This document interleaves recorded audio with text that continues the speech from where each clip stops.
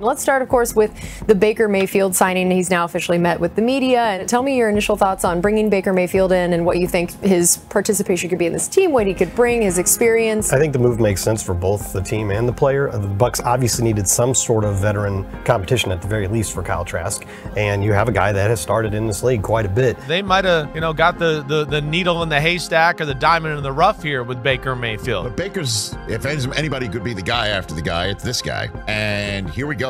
You like that move? I do. Great receivers. Mike Evans, Chris Godwin, Russell Gage. I mean, look around the league.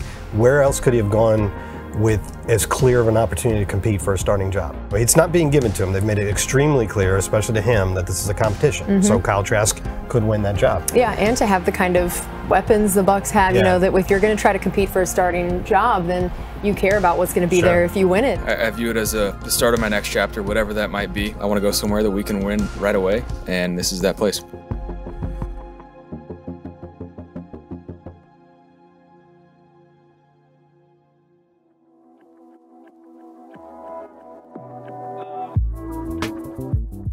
I've played a lot of ball, and so I've seen I've seen a decent amount, so I can help people out from being behind the scenes, like I did last year quite a bit, and just enjoying the process. This is a dream I'm living. Why not enjoy it? But right now, I want to compete and uh, I want to win. We wanted to bring in a veteran that's had some experience that would compete. Um, we're going to open this up to a competition and let the best man win. But the focus wasn't money for him, it was the opportunity. And he felt like this gave him the best opportunity to revive his career if he could. But if not, he understands he could end up being a backup to Kyle.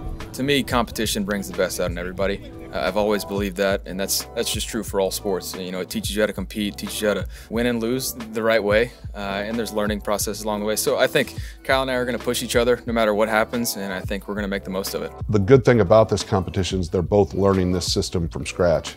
So there's no front runner. There's no there's not one that knows it a little bit better that you can use that excuse. But I think they're, they're going to use each other's strengths to drive the other ones.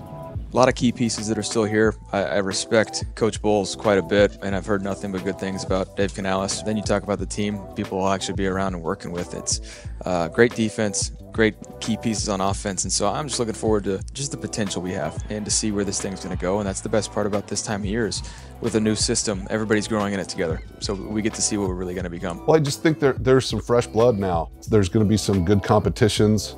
There's more positions up for grabs, and I think that that fuels a lot of competitive practices, and that's one of the things I'm looking forward to. Hello, world. I guess it's uh, welcome to the Don't Make a Scene Network, man. Ride along version.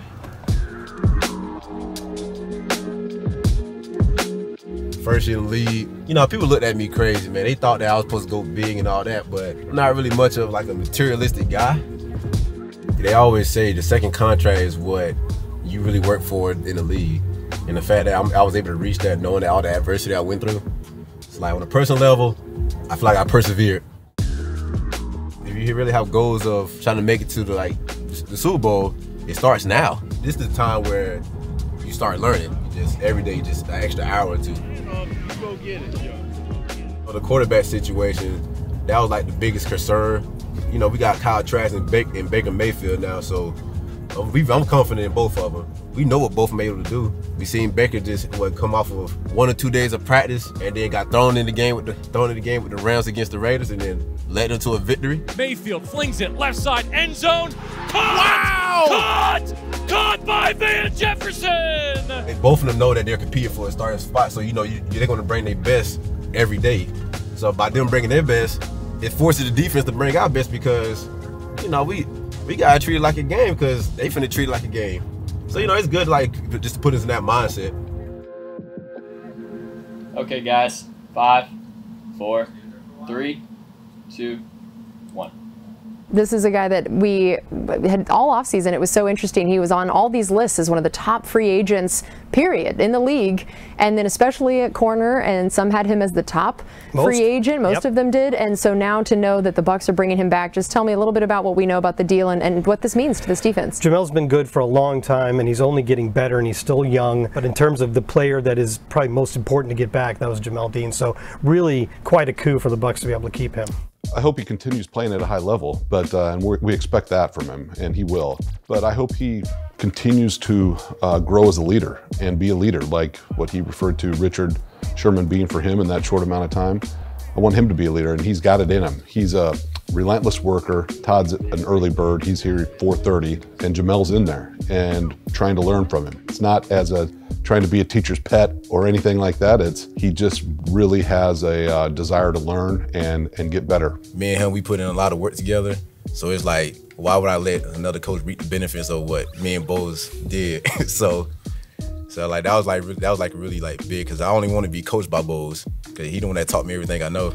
You know, it's almost like a father-son relationship because when you listen to him and then you see how much he understands the game and then he can sit there and pull up a film and then show you why things are happening, it's like, okay, like you really gotta get understand. Like I wanna know the game just like how you know the game. So like whatever it takes, man, I just just teach me. You're often put in the spotlight at corner. You're on an island and it's one of the toughest positions to play in football. Well, it shows like all my hard work and dedication that I put into the offseason to come in OTAs, get like extra film session to see like how can I get better and how can I improve my game. All that and then having the season that I had, it just it just shows that hard work really pays off. So it's more like you got to create yourself an opportunity.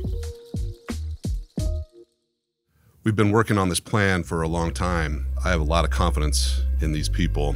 We have a lot of good players, players entering their prime, players in their prime, players that haven't even scratched the surface of their prime. It was important to me to, to be in a place that's stable and knows how to win, knows how to do it properly. We understand like we all have a, it's like all of us on the string, so we know we want to get at each other because we built that trust level over the years. If y'all not getting there, put your hands up. Put your hands in the throwing lane, you know what I'm saying? Rodgers over the middle, and it's intercepted. Like we got one of our captains back, captains, leaders.